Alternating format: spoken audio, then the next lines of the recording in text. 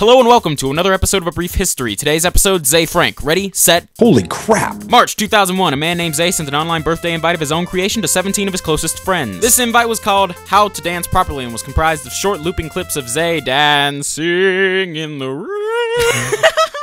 this invite was called How to Dance Properly and was comprised of short looping clips of Ze dancing.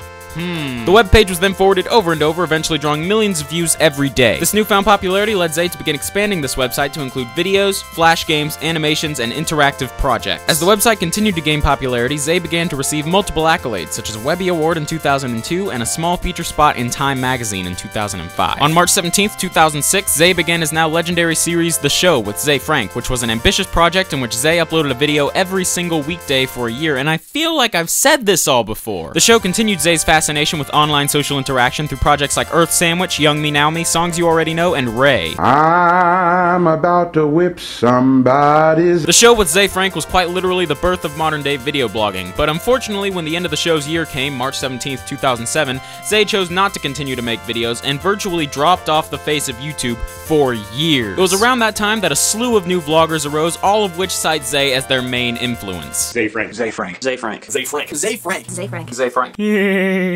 That one was me. But then, on February 27th, 2012, Ze came back to announce his new show that he described as Same, same, but different. a mindset perfectly exemplified by the name of this series, A Show with Ze Frank, a title that is basically the same as The Show with Ze Frank, but, you know, slightly different. Since beginning a show, Ze has once again accomplished many amazing things with the help of his viewers. In January 2013, the Santa Cruz Museum of Art and History held an event called the Ze Frank Weekend. Ze Frank Weekend. The Ze Frank Weekend was an event which showcased all of the products of a show, such as the life jacket, the face wall, and the finishing stamp. Side note, I don't think Ze Frank has bones or organs. I think his body is literally just a skin sack made to contain thousands of brilliant ideas. Anyways, gushing aside, the finishing stamp is a self-explanatory yet incredibly genius idea. I know I'm still gushing a little bit, I can't help it, I'm talking about Ze Frank. Ah! My script! It's in the wrong place! To see a finishing stamp serve its purpose, watch any recent video from Charlie is So Cool Like. At the end of each video, you will see this. In 2012, Ze uploaded a video called True Facts About the Hedgehog. Now, I tell you the exact date of when it was uploaded, but it seems that the video has been deleted due to copyright claim. Oh, copyright law. We all hate you.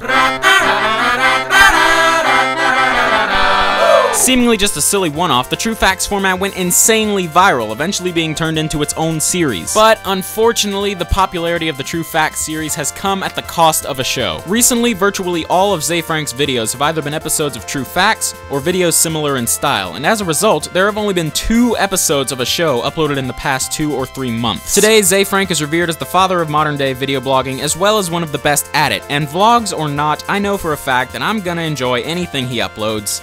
I just miss those eyebrows. Hey guys, thank you for watching my brief history of Ze Frank video. I hope you liked it.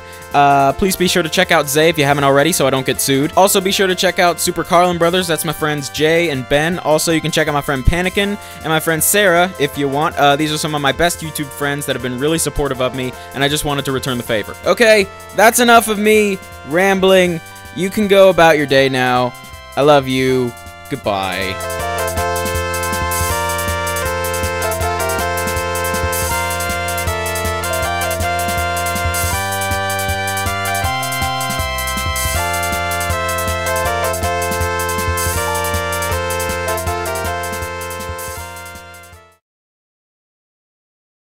Hindsight is 2020 Stop. Now pretend to speak French. Baby, baby, baby. Coffee cup gang sign.